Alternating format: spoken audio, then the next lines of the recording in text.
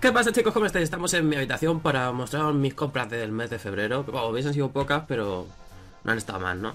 Empezamos, esto me lo compré en el Japan Weekend de Madrid, eh, la serie Dragon Ball, ¿vale? Que la están sacando así en, como veis, remasterizada, sin censura, y está genial, o sea, me encanta esta edición. Y bueno, me la he empezado a comprar, es cara, es larga, pero bueno, ahí está. Esta me la compré el otro día, de segunda mano ya me costó la mitad, básicamente. Así que bueno, aquí está la segunda parte. Queda otra más de, de cuando Goku es pequeño, ¿no? Por decirlo de alguna manera. Y luego son siete más de Dragon Ball Z, o sea que todavía queda. Muñeco de Goku de la saga Saiyan. Me lo compré también en el Japan Weekend. Y está de puta madre, o sea, tiene unos detalles chulísimos.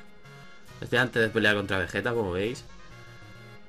Está increíble. Tiene culo naranja, no sé por qué. Me fijé ayer cuando grabé el vídeo, pero bueno, ahí está. Una pasada de muñeco. Increíble. Y ya. Otro muñeco más que también me compré en Japan Weekend. Gogeta Super Saiyan. Parece de la misma colección que, que Goku, pero no lo es. Pero la verdad es que está igual de bien hecho. Y bueno, ahí lo tenéis. Ya sabéis que pertenece a la OVA. Bueno, las pelis, OVA, sí. Que se llama Fusión. ¿Vale? Esto no sale en la serie así. Así, de esta forma, ¿vale?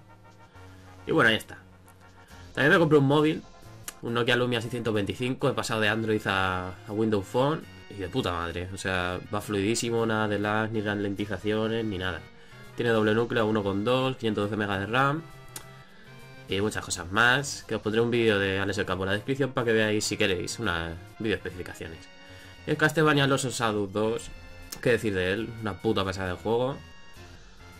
Eh, tiene partes de sigilo que se hacen un poquito repetitivas, eso hay que decirlo, pero bueno, es, es una pasada que tenéis que jugar todos sí o sí. Obviamente, si no os habéis jugado el primero, jugáis el primero y luego este, ¿vale? Y ya.